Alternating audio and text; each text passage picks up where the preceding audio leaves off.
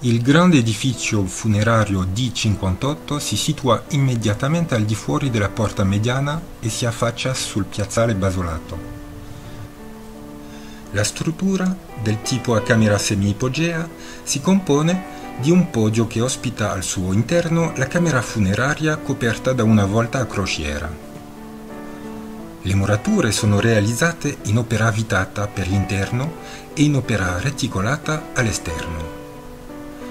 L'intero edificio ha subito alcune trasformazioni significative nel corso della sua vita e si individuano due principali fasi di utilizzo a scopo funerario databili tra l'ultimo quarto del primo e gli inizi del secondo secolo d.C.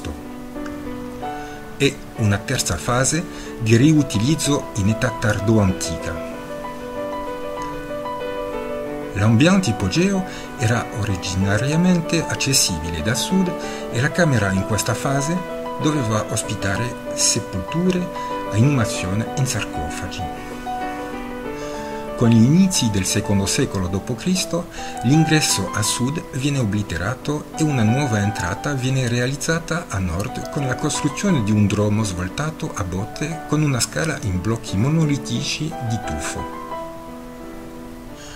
Con questa nuova sistemazione viene creata anche una rampa che doveva permettere l'accesso alla parte superiore del mausoleo stesso.